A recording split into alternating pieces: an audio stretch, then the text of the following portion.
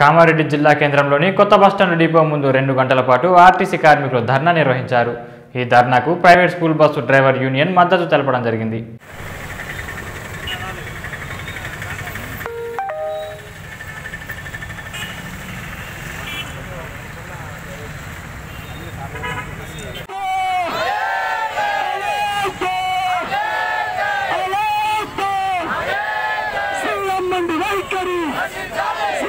Divide करी। CM divide करी।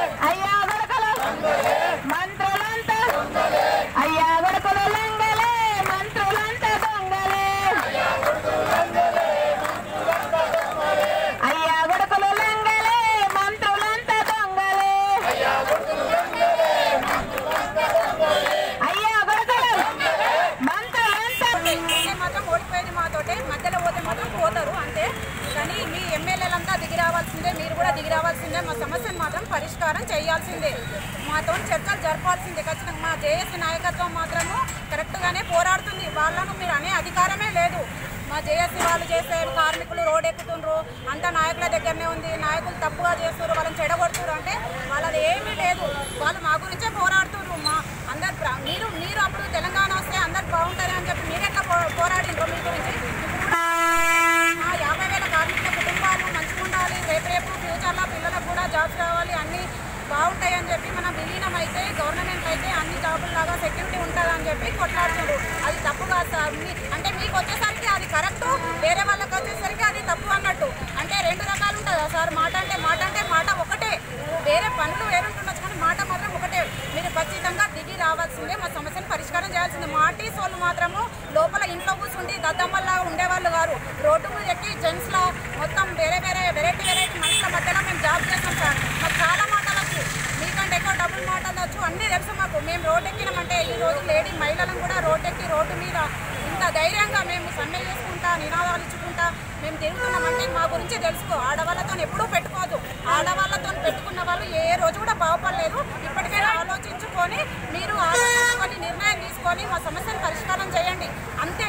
ఇంకా ఏమీ లేదు. దానికంటే మీకు వెళ్ళి లేట్ అయినా కానీ లేటెస్ట్గా మాకు విలీనం చేసి పక్కకు తప్పుకోండి సార్. అంతే. మేము ఇంతకంటే ఏం అడగలేము మేము.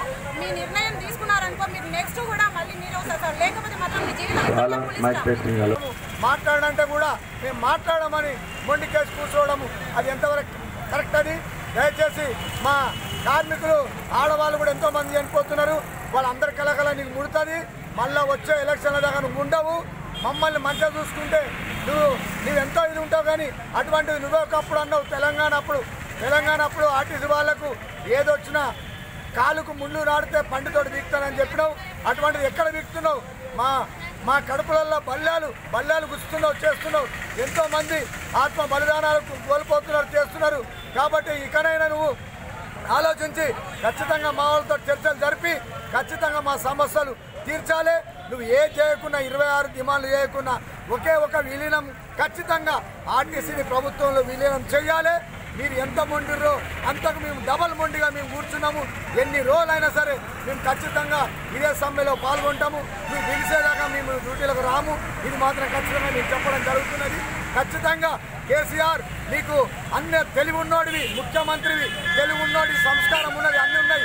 అటువంటప్పుడు నువ్వు ఎందుకు ఇట్లా మమ్మల్ని చేస్తున్నావు? రవాణా శాఖ మంత్రిని ఒక పిచ్చోనిగా నువ్వు చేసి వాని పువ్వుడు అజయ్ కుమార్కు ఏం తెలియదు నువ్వు చెప్పినట్టు ఎంపీలు వాళ్ళు కూడా వింటున్నారు. అది ఎంతవరకు సమంజసము? దయచేసి మీ ఆర్టీసీ మా యొక్క మీ యొక్క టీఆర్ఎస్లో ఉన్న నాయకులను కూడా నువ్వు మాట్లాడిస్తలేవు చేస్తలేవు. కాబట్టి ఖచ్చితంగా నువ్వు పిలిపించి మా నాయకులను పిలిపించి ఖచ్చితంగా చర్చ జరిపి మా డిమాండ్లను నెరవేర్చాలి. నెరవేర్చేదాకా ఇదే విధంగా మేము సమ్మెలో పాల్గొంటాము? అవసరమైతే పద్దెనిమిది తారీఖు తర్వాత ఇంకా మా సమ్మెను చాలా ఉధృతం చేస్తామని ఈ యొక్క మా జేసీ కామెడీ తరఫున మేము కోరుతున్నాం